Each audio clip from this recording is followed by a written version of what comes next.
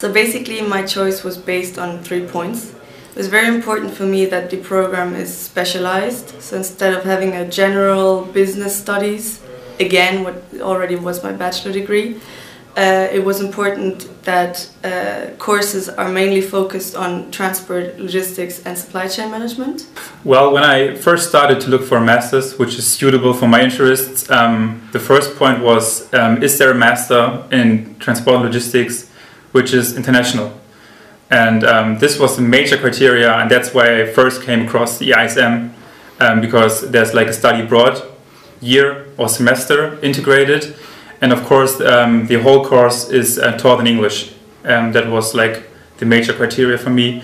And of course the second one um, was the curriculum itself. So the modules from the first to the second semester and then the year abroad, of course. So we have three semesters.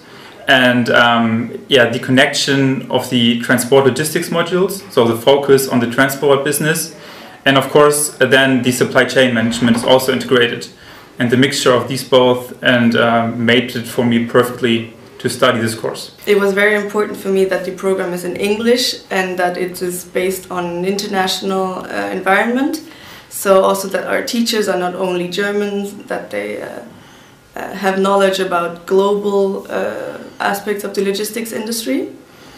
And also that the students uh, are also not only German. Yes, because after graduating from my previous university, I did a management internship in Dubai for around six months where I worked in uh, contract logistics uh, with a main focus on uh, critical zones, so places such as Afghanistan and Africa. And I really enjoyed this time, so I decided to come back because I felt it was important to do master. And I realized that in my previous company there was actually no one really qualified with a, such a master in logistics. So for me the ISM uh, offers an overall package of exactly those three points.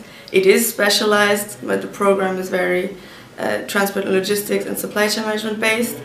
It is international, the program is in English, and uh, students are from all over the world. Actually, our class is composed of 50% non-German students, and teachers are also international.